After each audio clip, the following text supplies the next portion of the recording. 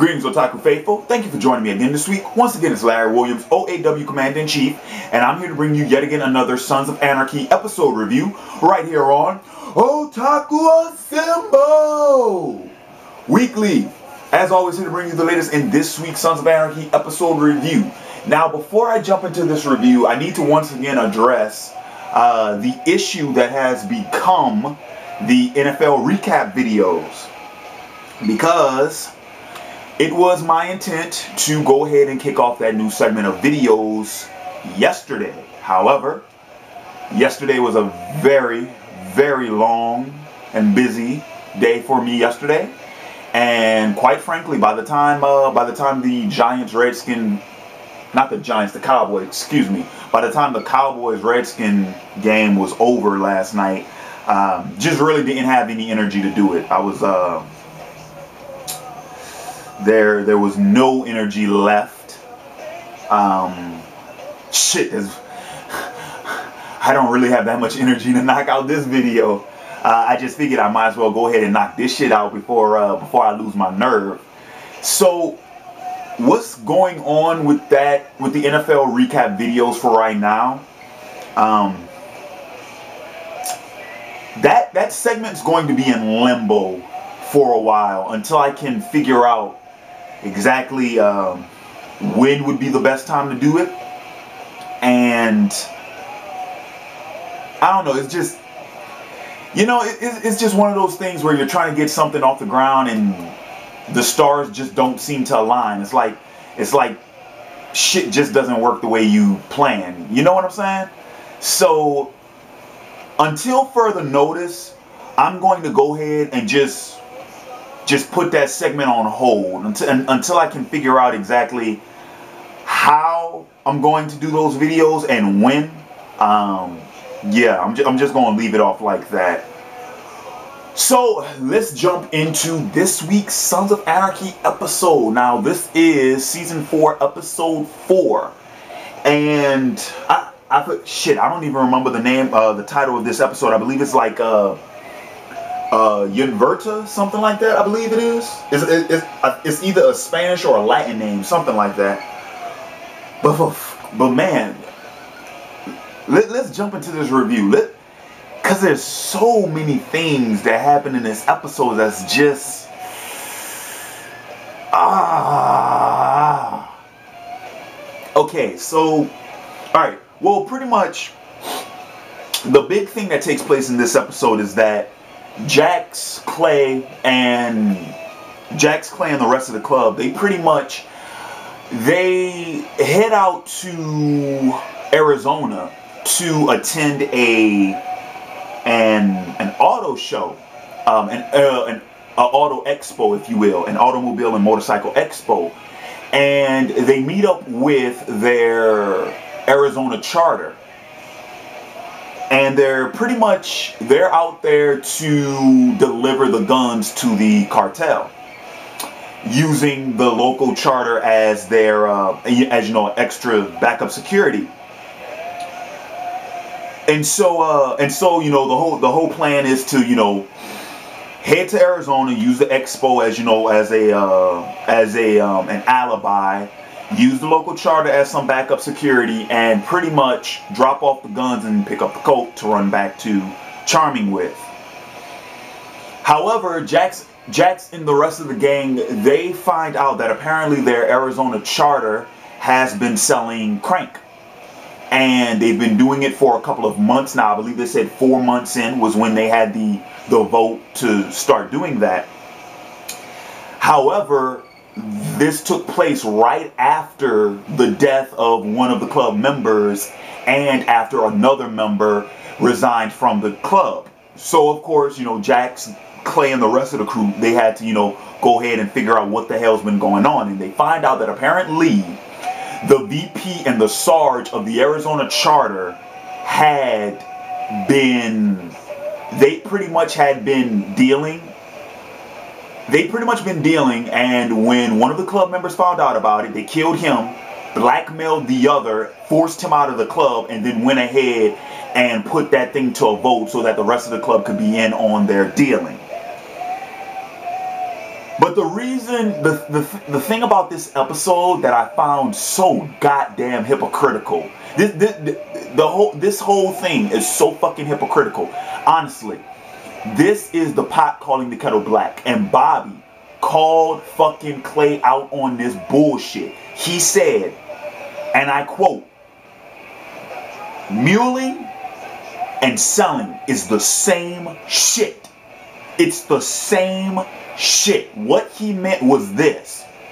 How is it that Clay Jax and the rest of, you know, the charming, the charter, the Redwood original charter, how is it that they can sit there and pass judgment on the Arizona charter about selling drugs when they're fucking hauling them? Muling and selling is the same shit. And I agree with Bobby. I agree with Bobby. Now, you're probably saying, Larry, how the fuck can you agree with Bobby? Mute.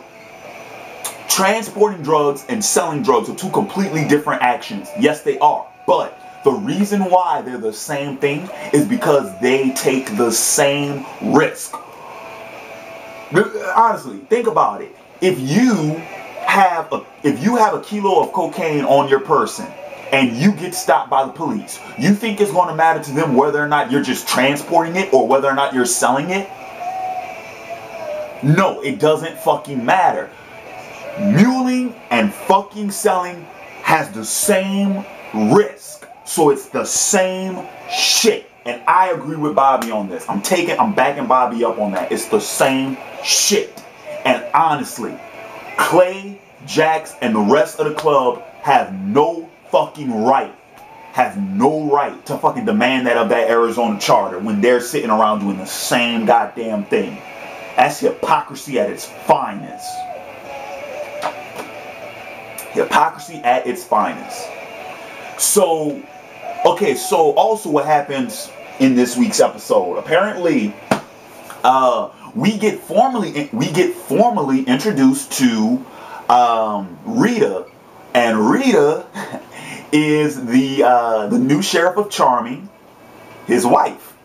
We saw her in last week's episode when we, uh, I believe it was the sheriff and his wife coming out of the uh, the what is it, the paternal ward? I believe that's where they were coming from.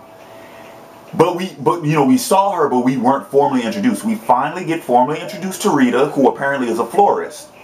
And funny enough, we get introduced to her through Gemma because we find out that apparently Gemma has a knack, or not a knack, but um, planting is one of her hobbies.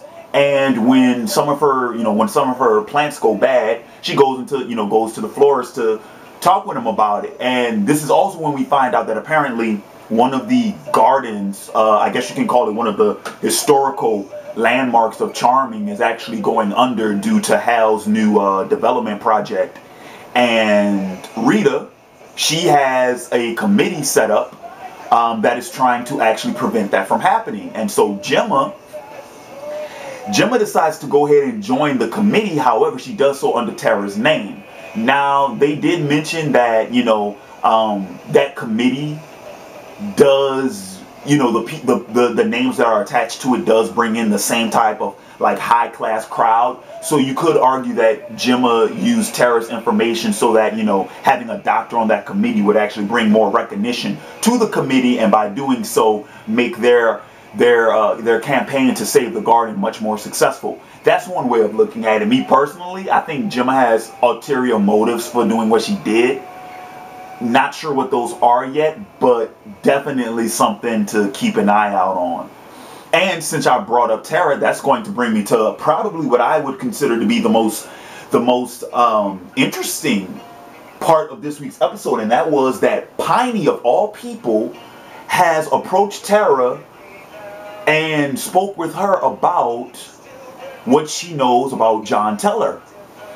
And I have to say, this was very intriguing because those are two of the most unlikely characters that you would think would actually, you know, um, gravitate towards one another.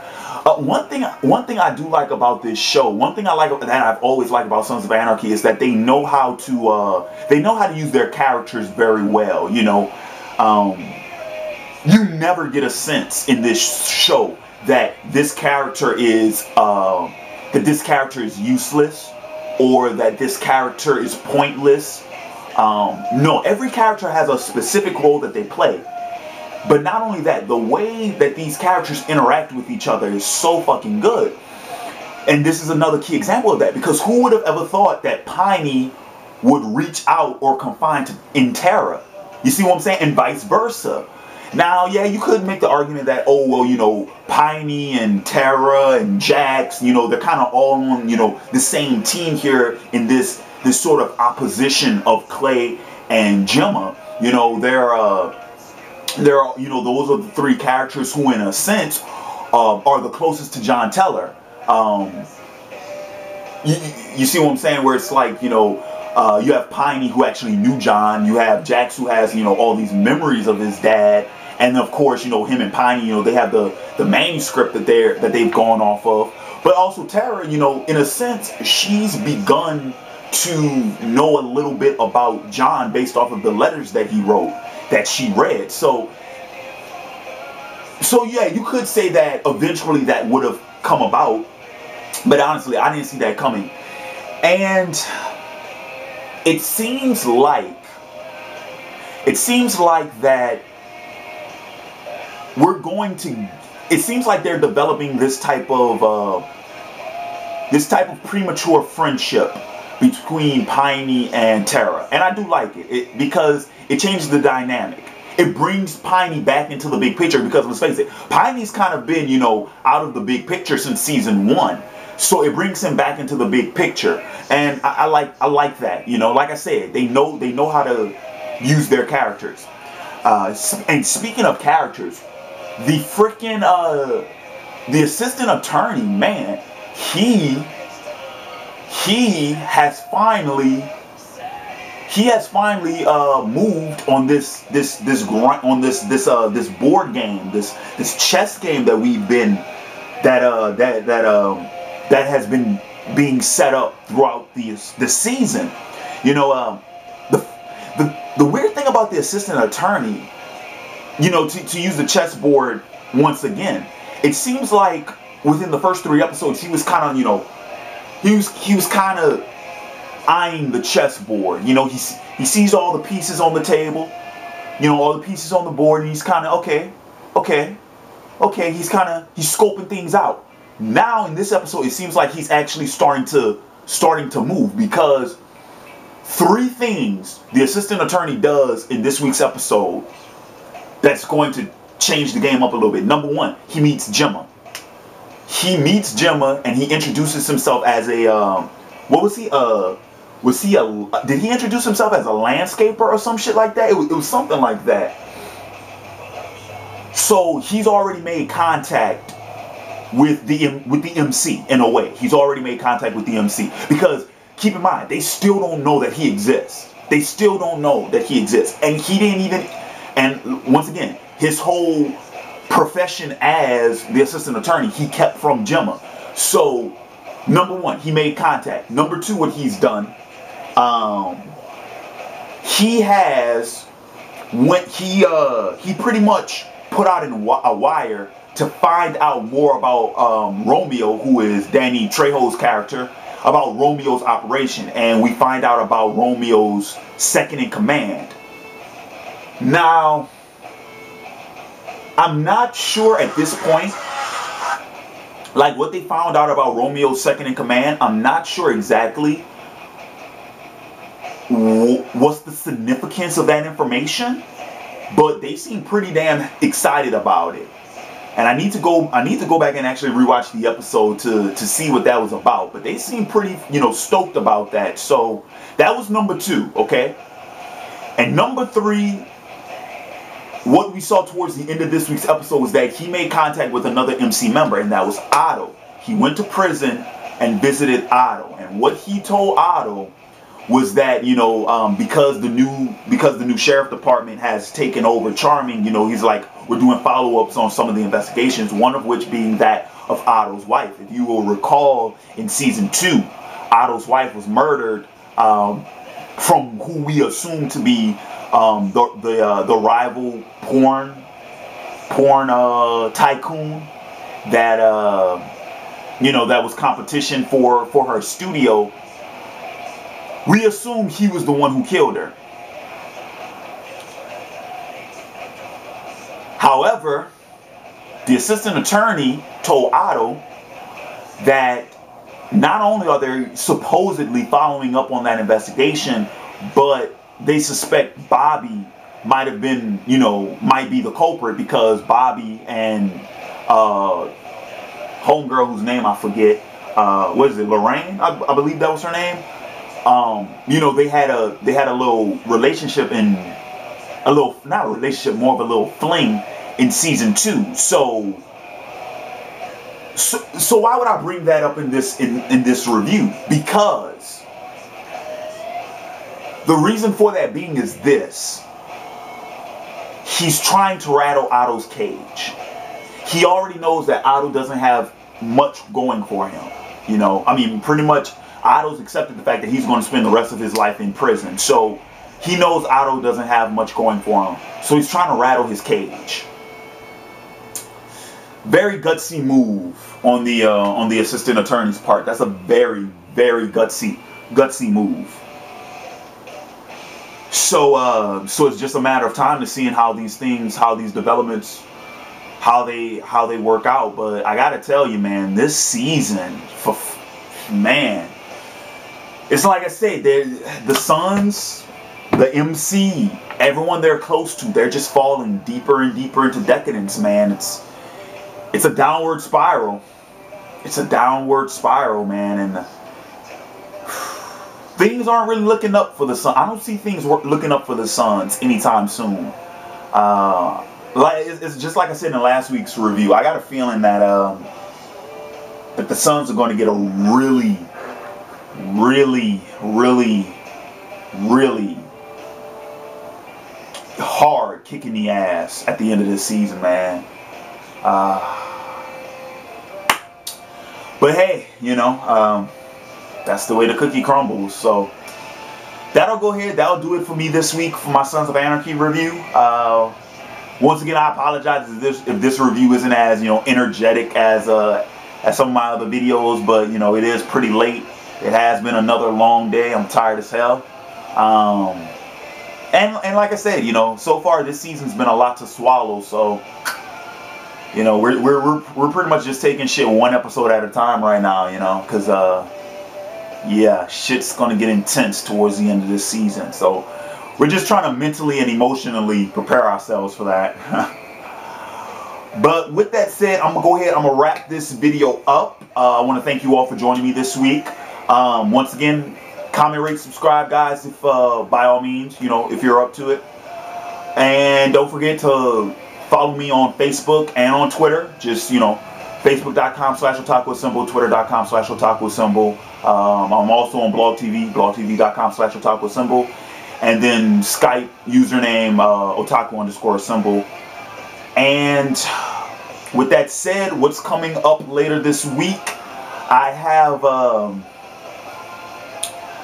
I'm, I'm, still on the fence whether or not I will try to knock out an NFL recap video this week. Um, not sure. Guys, in comment below, let me know what you think about that. Because like I said, I've been having trouble with getting this thing off the ground. Uh, Friday, I don't I don't believe we'll have a Thundercats episode this Friday, so there may not be a review.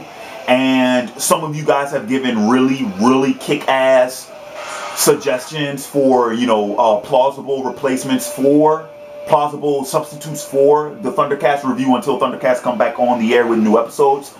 Um, still taking those under consideration. And then as far as this weekend, this weekend uh, will kick off the month of October, which will be, I'm going to go ahead and I'm going to officially announce that this, that October will be Samurai Month here on OAW because October is going to be my Rurouni Kenshin's anime favorites, which I will actually do two videos dedicated to the Roroni, Rurouni Kenshin series my anime favorites for Rurouni Kenshin. That's going to be the October video.